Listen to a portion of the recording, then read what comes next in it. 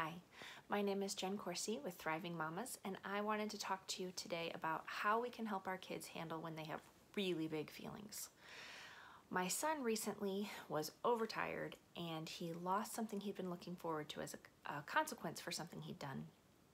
And he was losing it. He just could not handle not getting what he wanted. He could not handle the disappointment and he got really, really upset. And as mom, I wanted to be able to help him. I didn't like seeing him so distressed, but he didn't want my help. And I prayed and I asked Jesus, Lord, what am I supposed to do here? How I feel so helpless. What am I supposed to do? And I felt like Jesus said, You're not always going to be around, but I am.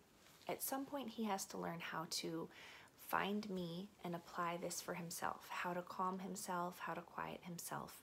And this is a time to give him some space and then you can help him practice finding me. So eventually, once he calmed down, I said, Are you ready for some help? And he said yes.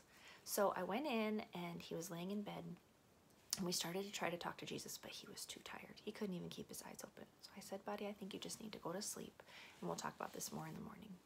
So the next morning on the way to school, we talked about it some and talked about how important it is to find Jesus because sometimes I'm not going to be around. And when you're older, I'm not going to be around when you need me necessarily right then and there to help you calm down.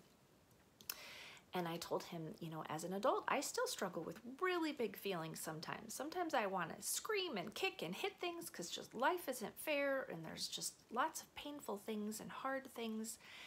But I turn to Jesus and I help he helps me calm down from that and he helps me meets me there and helps me work through those feelings.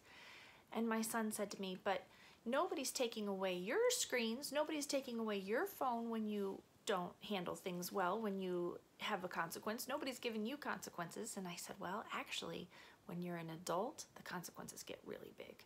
If you can't handle your feelings and you can't calm down and recover, might lose your job because people can't trust you at your job, or you might lose your family because you're not safe to be around because you can't handle when you have big feelings. So the consequences actually get a lot bigger when you're an adult. And I told him, I don't like giving you consequences, but sometimes consequences are needed, like losing screen time, in order to help you find the motivation to calm down before your the storm of your feelings turns into a hurricane. And that really helped him understand that I, I'm on his side here. So we talked about the fact that he had lost screen time for the day, but if we, when he got home from school, we could interact with Jesus, we could see what Jesus wanted us to know and see what Jesus wanted us to know about next time we have big feelings and how Jesus might be able to help us. And if we could do that together, then he would earn back the privilege of family movie night because it was supposed to be family movie night that night after school. So we did. We talked with Jesus, and he was able to find Jesus's peace and just hear what Jesus had to say to him about how to handle these big feelings. Now, I'll tell you, this didn't come by finding Jesus in the midst of upset for the first time. We have done this a lot with our boys. Um, we practice interacting with Jesus a lot, and you can find that throughout my blogs, lots of examples of how we have worked with the kids over the years so that they're ready. Because we need to be able to find Jesus when things are calm before we're going to be able to find him when things are really hard, because it's just so much harder to find him when, when our feelings are so big. So, as a tip, start working with your kids before they get upset on finding Jesus's help. So, he interacted with Jesus, and I was so excited because a few days later, he had another night where he was overtired and he lost something he'd been looking forward to, and he had huge disappointment, and his feelings started getting big. And his, I saw the storm coming, and I said, "Buddy, remember last time? Remember how big your feelings got and how not fun that was? Now's a chance. Can calm yourself down, find Jesus's help right now, before it gets too big."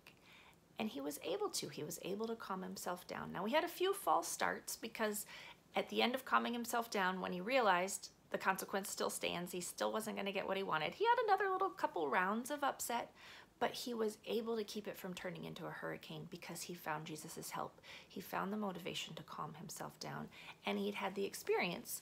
Because sometimes when our kids are older, it's about finding the motivation to calm down we have to have practice lots of times with them first so that they actually have the skill, but then they have we have to help them find the motivation to do it for themselves. So I hope this is encouraging to you, whether your kids are itty bitty or older. We can be with them, we can help them find that calm, we can help them find Jesus, and we can help them learn tools so that they're ready for life as an adult.